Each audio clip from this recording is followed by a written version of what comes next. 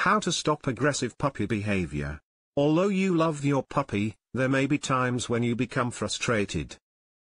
Unfortunately, he does not appreciate things like you do. If something looks like a tasty chew toy, it will probably get chewed. In this article, you'll find great tips and tricks to help keep your dog from chewing on your possessions. You need to adhere to a specific feeding routine for your dog.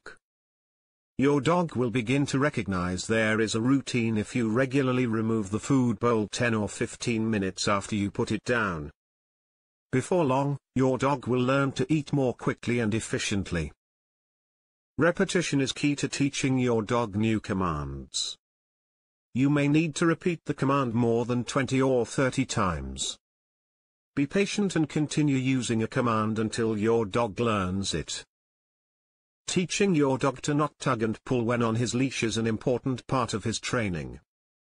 This is important for the safety of your pet, and it is also beneficial for you as well.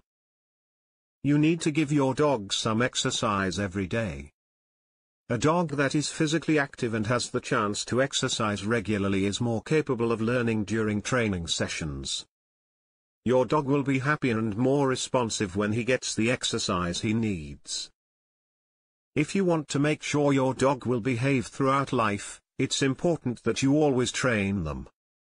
Your dog doesn't stop learning just because it's no longer a puppy. If you reinforce desired behaviors, you will ensure your dog's continued obedience, and by continuing to discipline your dog, you will prevent negative behaviors from appearing. To conclude, it's vital that you train your dog right. This prevents them getting hurt and also saves you irritation and money. The tips provided here should aid you in developing a successful training program that yields the results you are seeking. Don't forget to like our video.